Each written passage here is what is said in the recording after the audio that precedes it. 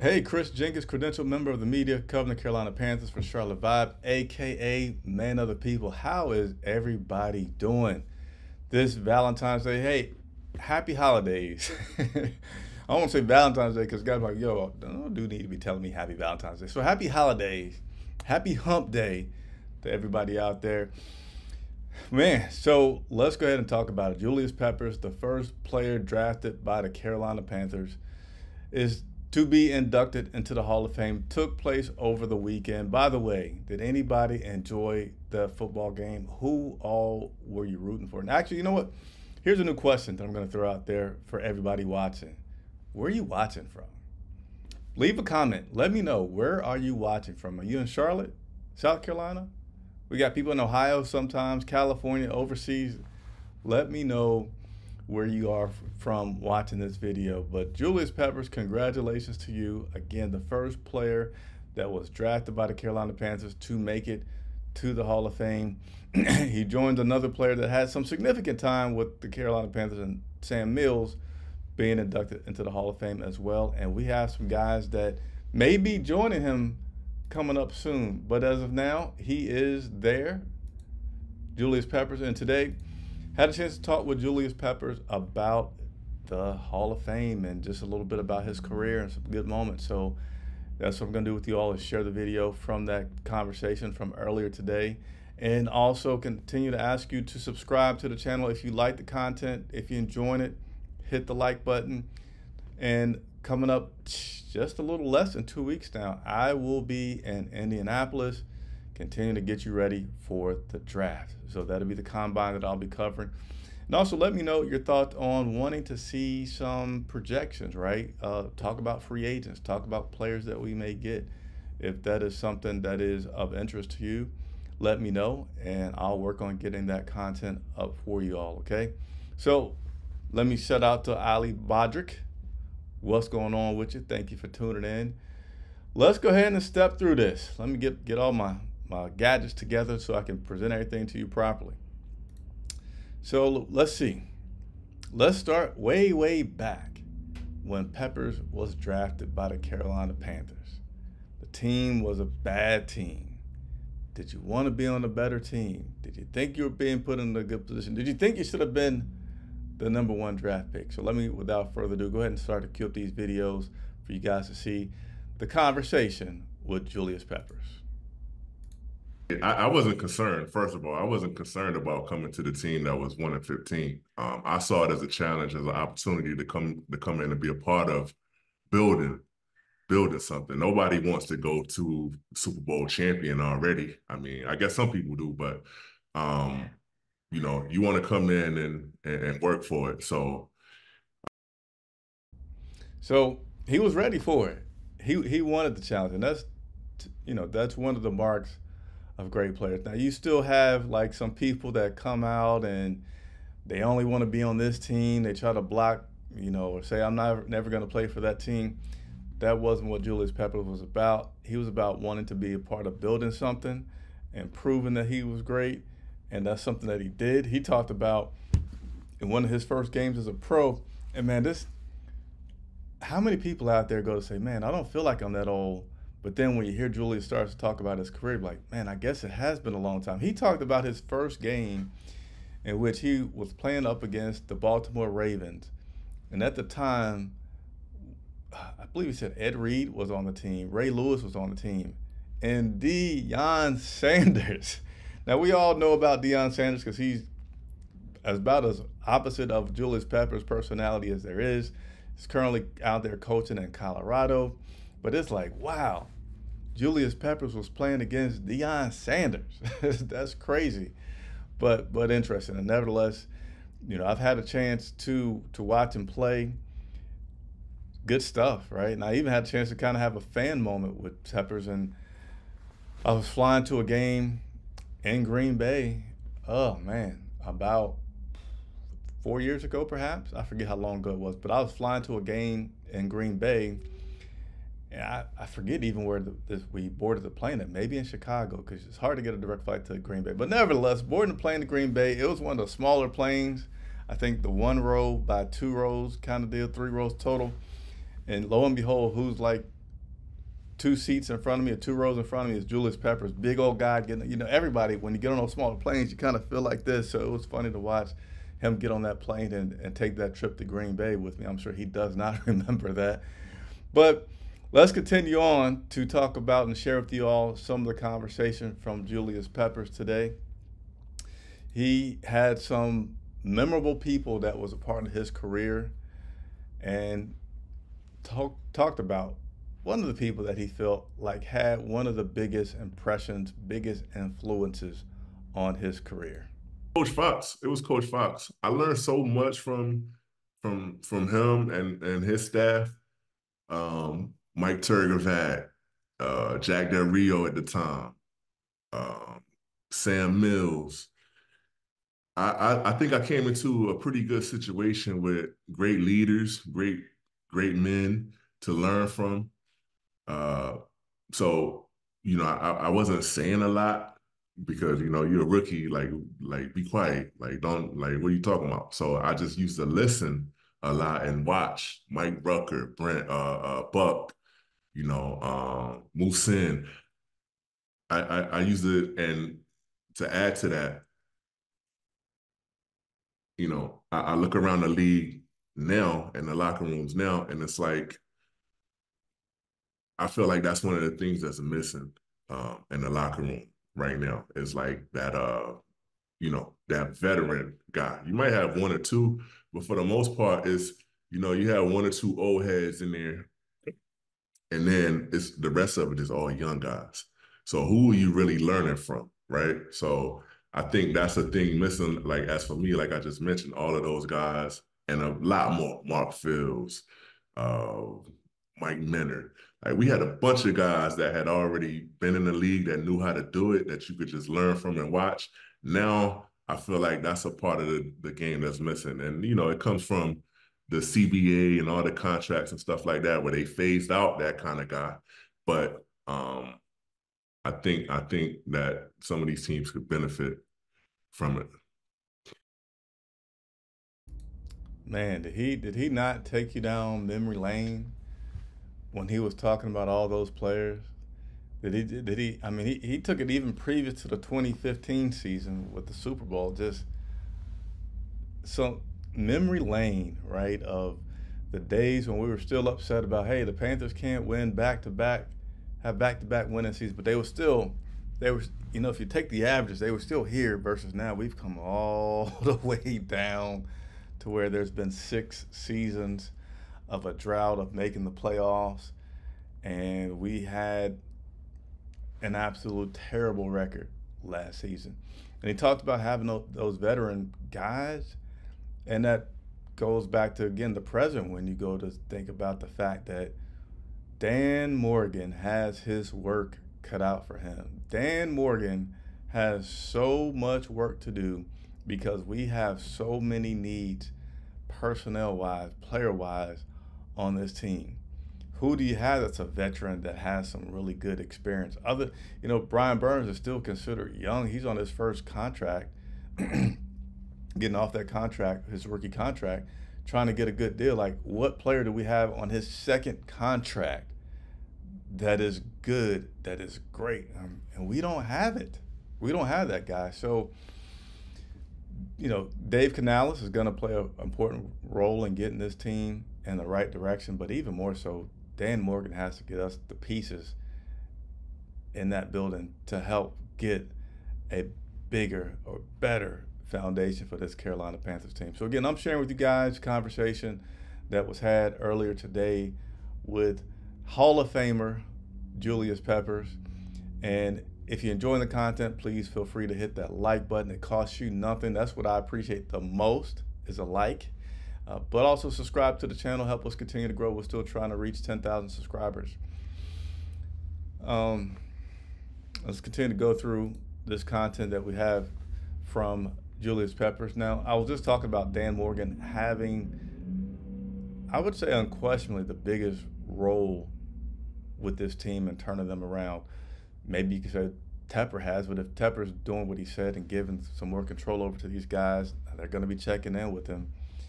Dan Morgan's going to be the guy, right? What does a guy like Peppers, who just took us through the history of the Carolina Panthers and talked about the importance of having some veterans in that locker room.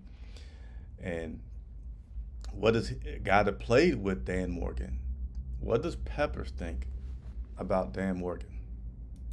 I, I have great confidence in Dan, as I did when I played. Um, he was he was uh, similar to Luke in some ways, where you know you see this you see this clean, nice, clean cut guy off the field, but then when they get on the field, they turn into a whole new person.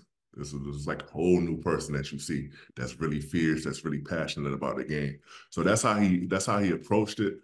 And um he was a great leader, he was a great communicator. And um I think he can handle it. I think he, he he's been in he's been in that in that world for a while now. And um I thought it was a I thought it was a great choice by by uh Dave to to bring Dan and Dan Dan he knows the locker room. He knows the guys, and um, he's a Panther. So I, I think he's going to take great pride in in doing the job and doing it well.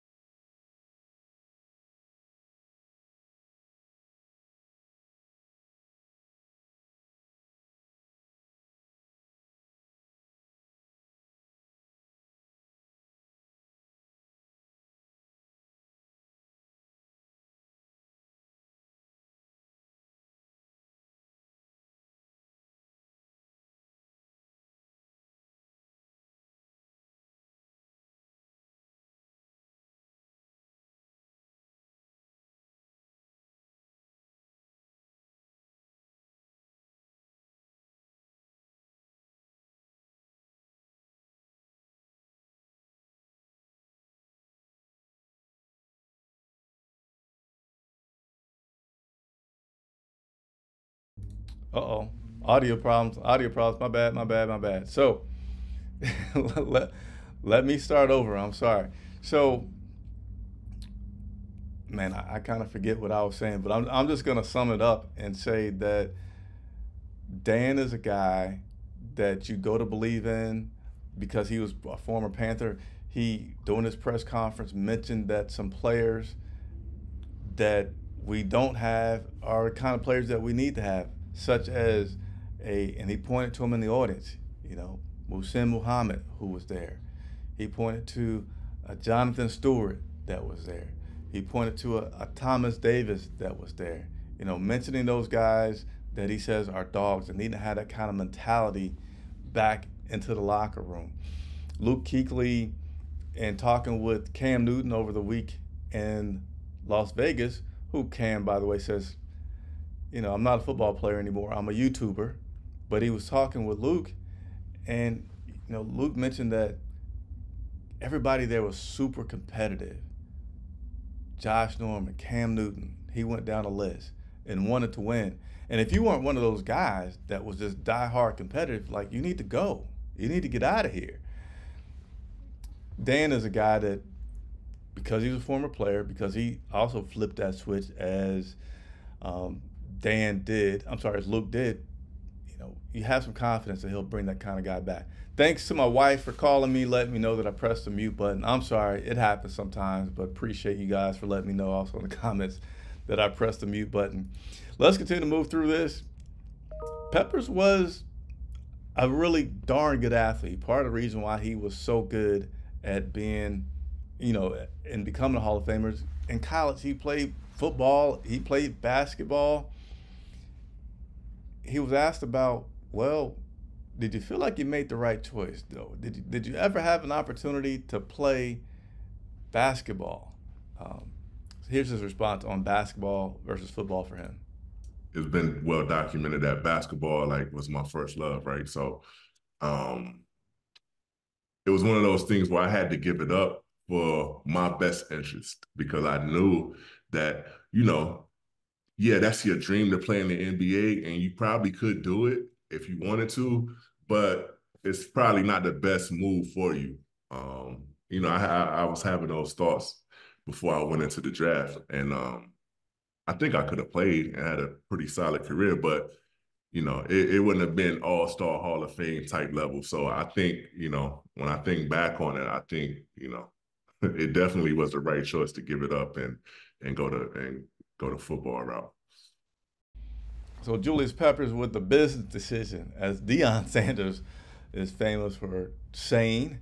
Um, yeah, I could play, but football was really the better choice. Um, and I think a lot of Panther fans are happy about it. I mean, heck, could have been some Hornets fans because we know we, we, we won't get into too much talking about Charlotte pro sports and how we struggle at times. But about, again, the conversation with Julius Peppers today had some availability with the media recently inducted into the Hall of Fame. Who will he choose to announce him? Will that be Coach John Fox? You know, he touched on that. I played that clip for you already. He doesn't know. You know, Peppers has gotten some information from the NFL about that Hall of Fame induction ceremony. It has some deadlines that are associated with it. He's not at those deadlines yet, but he knows that he has some decisions to make to let the NFL know what he plans to do. And, you know, he'll be making that decision shortly. But just certainly Coach Fox would be a great guy to do it. Let's go ahead and wrap up on this. Julius Peppers is a guy that is a few words. He's he's quite a humble guy, certainly a hard worker. And he has just been filled with honor after honor after honor this year from the from the Hall of Honor at Bank of America Stadium, or is it called Ring of Honor? I think it might be the Ring of Honor, to now being in the Hall of Fame in Canton, Ohio, the ultimate of recognition and accolades for an NFL player, he's been doing a lot of media. He he's been doing a lot, and so it was asked about Pep. How have you been able to? How have you adjusted to all this? These honors that you're getting, and all this media that you're doing, and all these talking people. I, I it's I really been blessed to to uh, have these things come um, right behind each other, and, and you know it's been a great it's been a great uh, couple of months. So, um, you know, I understand that with those type of honors, certain obligations come with it. So, uh, you know, um, it, it's not my favorite thing to do to film you know, film, you know, film all of those things for for NFL films and stuff like that, and do so much media uh, this past weekend at the Super Bowl. But I understand that it comes with it, and, and, and this is a once in a lifetime thing. It's not gonna it's not gonna be something where I have to do it every year. So, you know, uh, I'm fine with doing it now, and I'm, and I'm happy to do it. There you have it. So that was me saving a lot of time, taking some excerpts from some from the highlight conversation with Julius Peppers today. Carolina Panther drafted Hall of Famer, first one in our history. Next up is going to be Steve Smith. Could it be Luke Kuechly, who's going to be eligible? Cam Newton is around the corner from being eligible as well. Will Cam Newton make it? I don't know, but I will tell you this. I'll keep you in the loop for everything pertaining to these Carolina Panthers. I'm going to also be getting you ready for the combine and for the draft that's coming up soon. So I encourage you to stay tuned, subscribe, hit that like button, turn on your bell notifications so you know when I go live in case there's any questions that I need to answer on your behalf. Thank you so much for watching. I'm Chris Jenkins reporting for Charlotte Vibe.